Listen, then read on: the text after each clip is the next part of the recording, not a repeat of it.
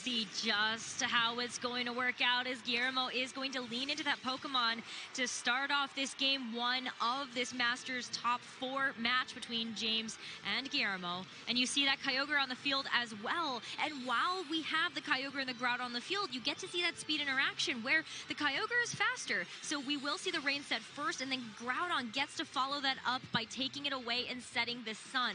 But the Psychic Surge is also on the field, which allows Indeedee to get this special defense boost getting rid of the rain is really, really big because the Kyogre is kind of forced into what move it wants to go for. If it wants control of the rain immediately, then the option is, of course, to Dynamax and then Max Geyser. But looking at James's team, uh, you know, that does feel like a very good candidate for the Dynamax. And the Max Geyser, uh, you know, only get, helps you out next turn damage-wise. Well, the other thing about this board position is that you have the Regieleki on the other side, which is usually a special attacker. And so knowing that the Indeedee has that special defense boost from the Psychic Seed, you can just follow me away any of that super effective damage. The one thing that I do like about this pair of Groudon and Regieleki, though, is they both have access to spread moves. So if your opponent is trying to mess around with Follow Me, you can completely ignore that by hitting it and its partner. The only problem with that, though, is the Regieleki spread move usually comes in the form of Electro Web, which is somewhat lacking when it comes to damage. It's also a form of speed control, though, and that is relatively nice, potentially putting the Kyogre below the Groudon in speed after landing an Electro Web, and Regieleki will be going first. It's that fast, it's that powerful, and it really can cause problems. Yeah, but look at this. We saw the Kyogre Dynamax on James's side, and seeing a Dynamax getting followed up on Guillermo's, it is the Groudon. And so now we've got these giant restricted Pokemon that are about to battle it out here. It feels like a tale of old from Ruby and Sapphire, but we also need to see what this Regieleki is up to. Despite the fact that Indeedee is in front of two Pokemon that can use those spread attacks, it will be using the Follow Me, but there is the Electro Web. But the Groudon can't use spread attacks anymore as it's Dynamax critical hit though. that is a lot of damage from that Electro Web. It isn't knockout worthy, but it's so, so close. And Indeedee's speed falling uh, isn't the big relevant one here. Kyogre getting dropped down to be slower than the Groudon. Of course, Indeedee's going to take this Max Quake, but now the Kyogre is slower. That means that, you know, James is going to be attacking not only in the sun, but into a special defense boost as well. So this is probably going to be one of the most underwhelming Max Geysers you have ever seen. Yeah, that's really unfortunate. I mean, the Electro Web can be so Ooh. devastating here, but it's actually going to be Max Hailstorm going into the Regieleki, and that is not going to be enough to get the knockout right now, but you did reset the weather so that you take away the sun, you set up the hail, you get some of that hail chip going, but that Regieleki is not going to take enough. That Regieleki only has one more turn as well. It did reveal the Life Orb in that uh, attack. And, you know, maybe uh, James thinking, okay, well, if I go into the Regieleki uh, with the Max Hailstorm, I'll be able to knock it out through a potential Focus Sash as well. The big thing there, though, is because of the special defense boost it gets from that Max Quake, it's able to hang on quite comfortably. The Regieleki in a very decent position uh, until the Rillaboom turns up. Yes, the Regieleki is very, very fast, but guess what? The Regieleki is also able uh, to get knocked out by the Grassy Glide. Yeah, that is definitely a good point. I mean, Rillaboom, either way, should have a chance to be able to take out that Regieleki, because I was certainly worried about the fact that maybe you have an Electro Web on top of that. Groudon is still faster than the Kyogre, though, so it still mm-hmm. gets a chance to attack before Kyogre does, which is why we see it go for a more defensive approach with that Max Guard. But look at that. It was Rising Voltage. So where is this Rillaboom, what is this Rillaboom doing? Well, the Rillaboom is sticking around and actually going for a U-turn. So getting right out, getting a little bit of damage down there, and obviously trying to reposition the board. This will show us James's final Pokemon and kind of give Guillermo good information on what he may have to do to win this game. It's almost like a turn of wasting time, letting the Hail deal with that Regieleki, as of course Groudon just causes some problems. But with the Regieleki being caught out by the Hail, the, oh, oh, no, it's a one health. Oh my goodness, my maths wasn't quick enough there. Uh, and Regieleki now getting recovery, so it's not even going to get knocked out by the hail next turn. No, I mean, that's the, the problem with the way that I think the end of turn resolution works for the chip and also the grassy terrain right now, is that Regieleki is going to be able to stick mm. around it, it's back up to where it was before it took the hail chip. It gets knocked out as soon as it attacks. That's the big concern. If it attacks, then the hail chip will come through and, and cause that problem. But, you know, this Kyogre taking that really, really nicely is huge. And honestly, pivoting out into the Zacian in front of uh, a a Groudon is certainly a big concern. This Kyogre is scared, rightfully so, of this Regieleki, and I'm just wondering, uh, you know, what is the Regieleki going to do? Is there a way uh, that maybe this Regieleki could call it and start to cause some really big problems? Well, it's going to protect. Knowing that it can stick around and you're also not taking a Dynamax move from Zacian as well, just going for the protect. Not wanting to take too much damage from this either if the Groudon is going to be targeting that down. So, smart protect here from James. Really defensive switches coming through. Even just giving up that third turn of Dynamax of the Kyogre in Rillaboom's stead. Yeah, but the, the special defense boost is definitely going to help out this Groudon a little bit. The big concern and what I think James is looking forward to in this game is finding that position to bring Kyogre in with no speed drop, set up by the Regieleki, and then of course, you know, being able to just attack the Groudon first. And if you've got the rain up, even special defense boosts are going to make this a bit of a slog to, to try and knock it out. The Rillaboom comes back in, a very safe switch in in the face of a potential Max Quake, or even, you know, a, a lightning, a rising voltage, uh, something like that. Even an Electro Web wouldn't do much, would just control the speed, so Dynamax done with for both of these trainers. But most importantly, I think Guillermo, you know, really trying to force James around the board, put him where he wants him, you know, with some really, really good, uh, you know, positioning, switching, and now he's he's starting to think ahead. He's got the most out of his Dynamax turns. He's given up those special defense boosts, though, and just being able to pivot around really big here. Incineroar makes so much sense. Incineroar, Intimidate into your two physical attackers, that feels fantastic. Well, here's the cleanup, though. It really it could have been maybe getting a chance to do some super effective damage onto that Groudon, but then Incineroar did switch in. We will see some damage onto the Zacian, but with the Life Orb recoil, that Regieleki will be removed from the field. But the Sacred Sword as well, really nice to be able to get that into the Incineroar, but because of that Intimidate drop, it will not be enough to get the knockout. And keeping the Incineroar around for another turn is pretty big here. Uh, being able to hold onto it for a fake out, potentially a parting shot to get away, is absolutely massive. Uh, the big thing here is this Rillaboom just seems to be, you know, causing some problems, um, you know, just trying to get those bits of damage down. And I think that's, you know, definitely where James needs to find a little more wiggle room. The Lunala showing off, so Guillermo very much concerned about this end game Groudon in after the Kyogre situation. And the quickest way to do that, just looking at their health percentages, would be to knock out the Zacian really need to make sure that you remove that from the field. But we're going to see James also preserve that Rillaboom. That grassy terrain was set quite a while ago, so you are looking at being able to maybe preserve that Rillaboom to reset that. But Kyogre as well. You get the Kyogre in, you're not super threatened down by anything that is on the other side of the field. And you also kind of force Guillermo into this position where maybe you have to bring in that Groudon if you feel like that Kyogre is threatening you. But a huge protect here, and that's going to be a really really big turn to get this Kyogre in for free. Yeah, getting the Kyogre in for, uh, you know, no charge is big. The Lunala here, though, does have something to consider. Um, many of the Lunala that we, we look at, um, you know, they're the, the, big focal point of the team. And, and, I'm just wondering, you know, what can Guillermo's Lunala do to make a really big difference in this game? Uh, you know, the Kyogre and Zacian are big damage dealers, but the big thing is there's still a Shadow Shield up, and that's going to help out a huge amount. Of course, you know, there's options like Kyogre, could throw out a massive uh, Origin Pulse, it would have to be, because Water Spout not looking so good. But I think looking through James's moves in previous games, that might not be an option for him. He might be down to single target attacks.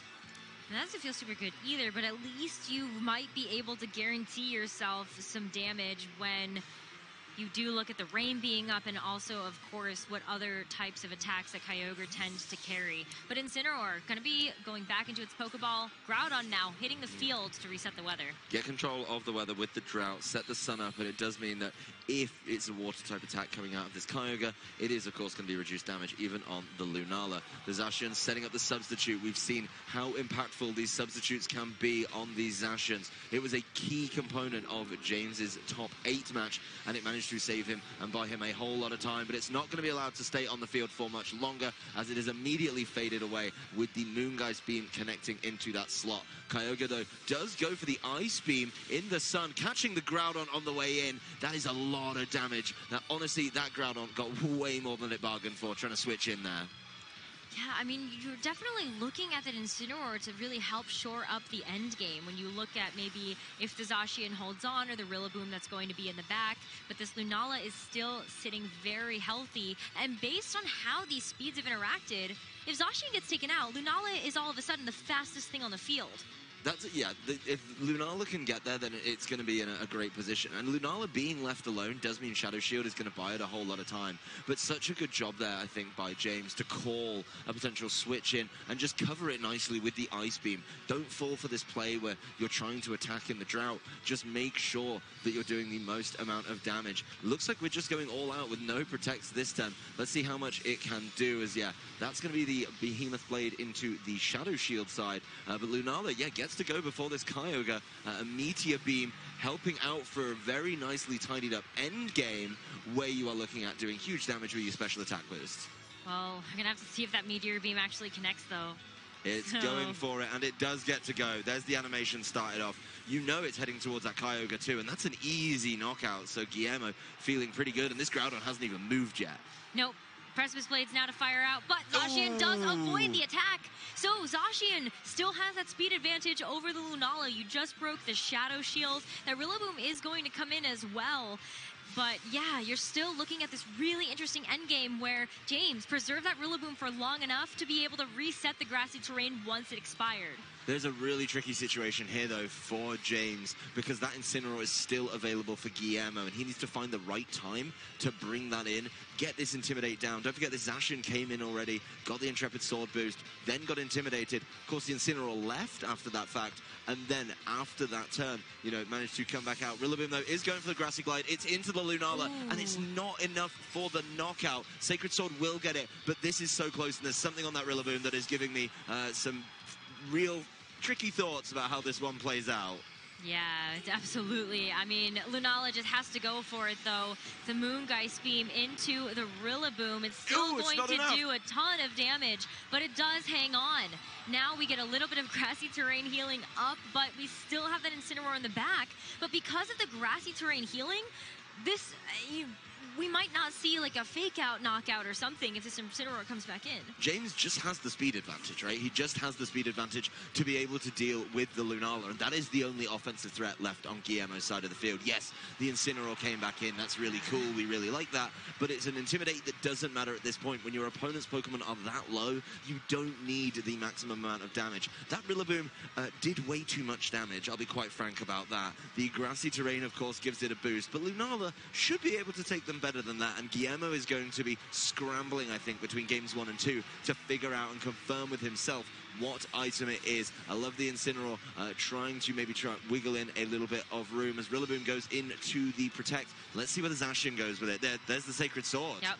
Yeah, so of course that Sacred Sword going to drop this Incineroar on Guillermo's side, leaving Guillermo with just the Lunala. But at such low HP and seeing that that Grassy Glide is still available as a priority move from the Rillaboom, this should clean up game number one for James. It's definitely going to clean it up. As soon as he lands an attack into that Lunala, it's game over. There's no way for Guillermo to fight this one back, with no spread attack in particular on something like the Lunala. I think, honestly, one thing he may have had to look at was preserving that Groudon a little bit. That was a very big factor. But James Beak in this top four set, going up 1-0. He's so close now.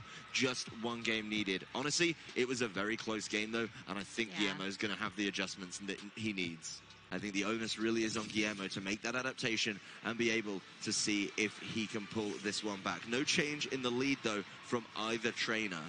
Nope, it's just going to be a complete run back here, and so we'll see everything once again. The rain and, then into this sun and then we'll get the psychic terrain and also the psychic seed. You'll see it all happen here. Yeah there's a lot of uh, kind of turn zero animations to get through as Indeedee sets itself up with the Psychic Surge, and of course reactivates the Psychic Seed, uh, making sure it's got a defensive boost. The double spread still feels like a solid option. I do really like the Electro Web, and if the Electro Web hits, you know, you can capitalize on it. But the damage just wasn't there. It wasn't going down on the Kyogre because the Indeedee drew it away. Uh, there's certainly some concerns for me on, you know, how much time do you have to waste on this Indeedee. Because if you're wasting time on Indeedee, then the Kyogre is just able to maybe reset up the rain with a Max Geyser and cause a lot of problems that way. Wow. We're going to see the Dynamax 1st mm -hmm. on Guillermo's side this time around. Yeah, that means it's, uh, you know, it's either going to be the Regieleki or the Kyogre over on James's side has not decided to Dynamax. We do know that it's faster, so he's no Dynamax on James's side of the field, maybe keeping it for something a little bit different a little bit later. Maybe something like that Rillaboom, which actually did a really good job late in the game as Kyogre just protects itself, which definitely indicates there's going to be something a little bit different from Indeedee. Well, that's a big adjustment here. This is, you know, this double protect from James really is going to, you know, just cycle through one turn of this Dynamax from this Groudon and negate it completely.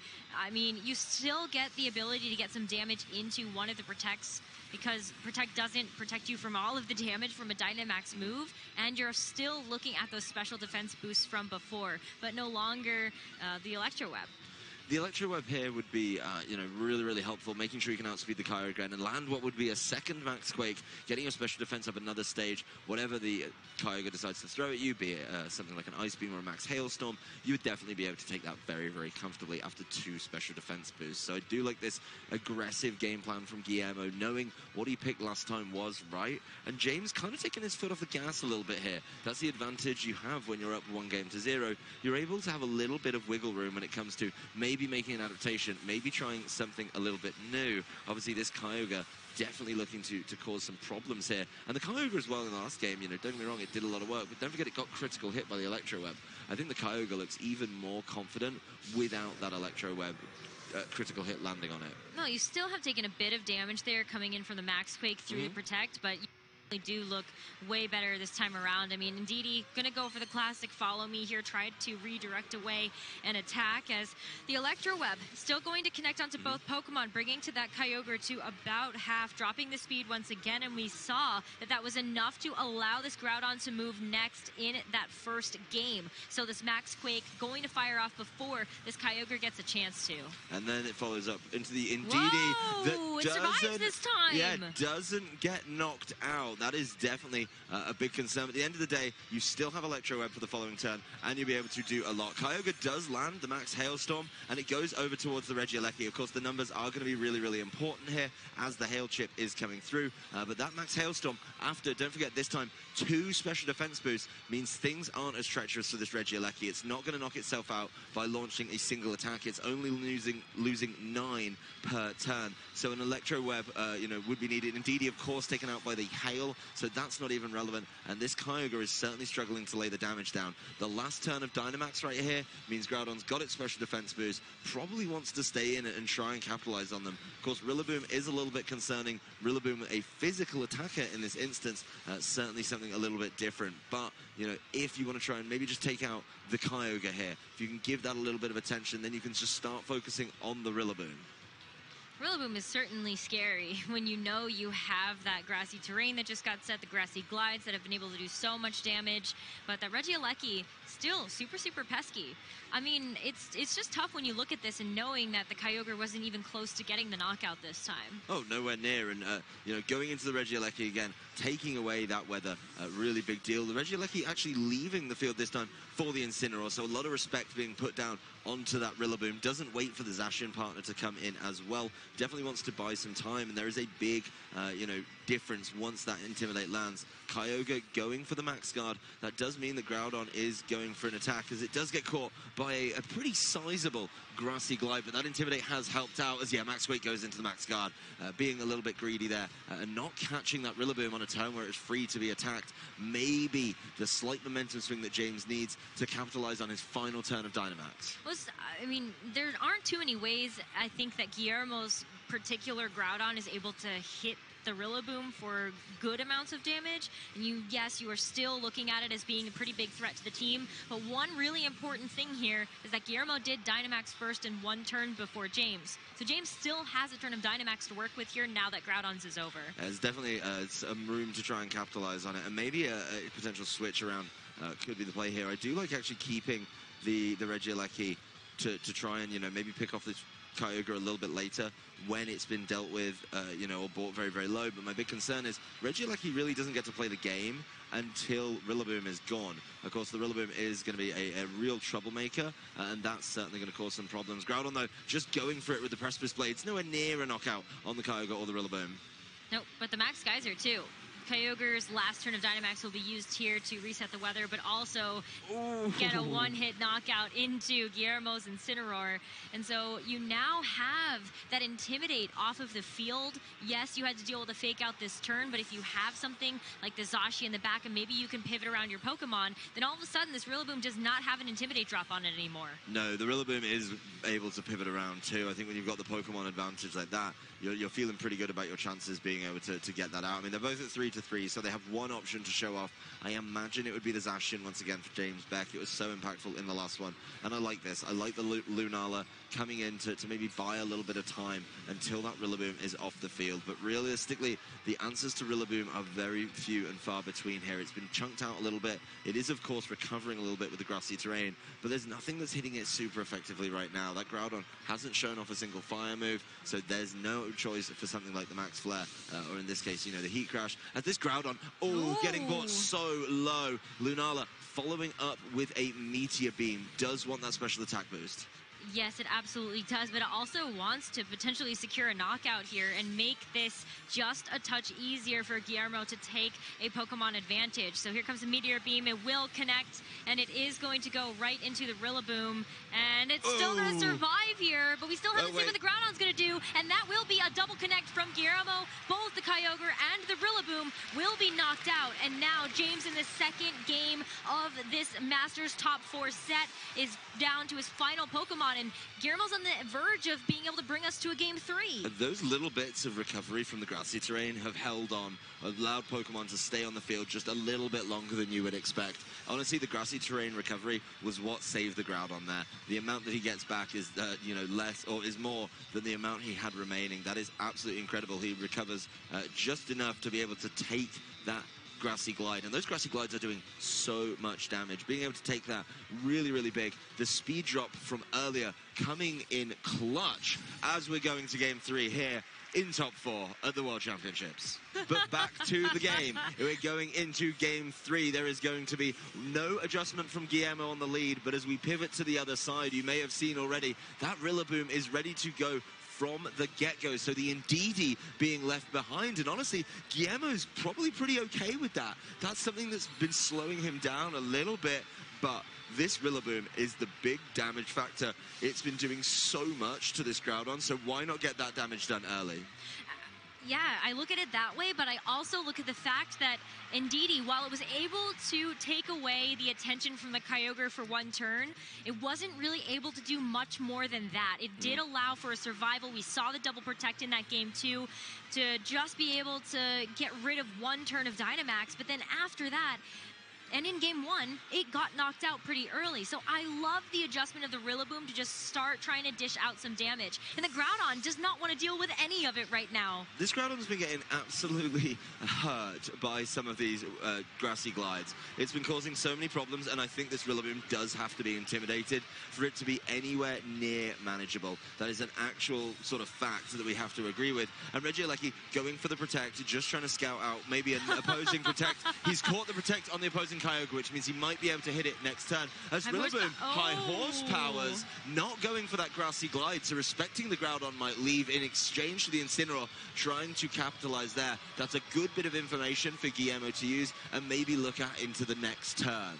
I mean, these protects were just kind of maybe led to a little bit of a mute turn when you just look at it from that perspective, but Oh, it did allow Guillermo to pivot, and we are seeing a Dynamax now coming out from his side, and I have to bet that it is going to be that Regieleki. It's looking at two very nice targets on the other side, Mm-hmm. especially when you look at that super effective damage into the Kyogre, but what else does this Regieleki have up its sleeve? Uh, that's really the big question here. I've got a feeling we're going to be matching it with a Dynamax on the other side as well. Both trainers know that if you're getting hit by a max move, you need more health to be able to take them. The pivot in of that Incineroar may slow down this Rillaboom for a turn. I think Guillermo's targeting of the fake out from Incineroar is absolutely huge here, but Kyogre being able to kind of mess around with the weather or just put down big damage is going to be huge here. Uh, Regieleki just going for it with the Max Lightning. There's no fake out on this turn, bear in mind. That is a monstrous Oh! knockout on the Kyogre. That's just a one-hit knockout.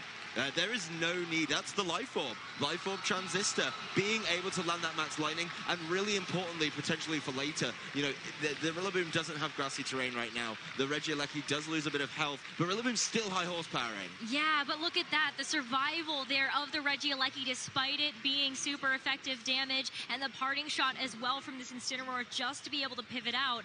But James has lost such a huge offensive threat on his team and that critical tool of that Dynamax. It's a zero-turn Dynamax. It's one of the worst things that can happen to you in the game. And this Rillaboom being stuck in right now, it wants to keep high horsepowering this Regieleki. It's been doing good damage to it. And obviously, you know now what that Rillaboom is packing as an item. That's something that Guillermo has been very respectful of. And knowing that that's an option on the Rillaboom, Dynamaxing the Regieleki so he can take it. But this is a problem for James. In a lot of instances, when you see just how impactful and how much damage some of these Regieleki are able to dish out, well, electric terrain is now also mm -hmm. on the mm-hmm. field. So you're looking at Transistor, electric terrain, and that Life Orb. And if that's going to go in the way of that Zacian and James isn't careful, that could be another one-hit knockout. Well, the Rillaboom can't grassy glide right now for a number of reasons. But that just means that, you know what, you're able to throw out some big attacks with this Regieleki, just going first every time. It's just though. He's just going for it into this Rillaboom. Uh, the Rillaboom getting, that's that's not very effective. Look how much damage it did. That's exactly the power of all of these different pieces coming together. Oh, and because it. of the speed of the Lunala as well, Zacian not moving next, that Moongeist beam will clean up this Rillaboom. And James down to his final two Pokemon and Guillermo. You can see the emotion in his face on that camera. He can taste the victory and taste that top cut. Indeedee too. Ooh, Gonna be coming to the field, but is this redirection going to be enough for the Zacian to get through the four Pokemon that Guillermo still has left. When you're in a 4v2 Pokemon count, you definitely want two offensive threats when you're the two, and this Indeedee is going to be able to buy a little bit of time. How much time? Is it going to be enough? I'm just not sure. There's so much work for this Zacian to do. The Zacian also could kind of get pinned out by the Incineroar, the Incineroar being able to come back in at some point intimidate it, land a fake out on it if it doesn't protect. There's so much to do. Of course, the Indeedee can do more than redirection. There's certainly options, and if this Zacian can target correctly with the help of a helping hand, that's going to be a huge assistance. There is a world, let's not rule it out, where Indeedee goes for those expanding forces and starts to contribute to the fight. But the big thing here is the, you know, the Regieleki is just going to be moving first. Okay, well, we're seeing the helping hand from the Indeedee, trying to boost up this damage from the Zacian, the Max Lightning without the electric terrain going into the Zacian It's just a knockout here. Eh. That's going to remove the Zacian, one of the biggest and last offensive threats from James's field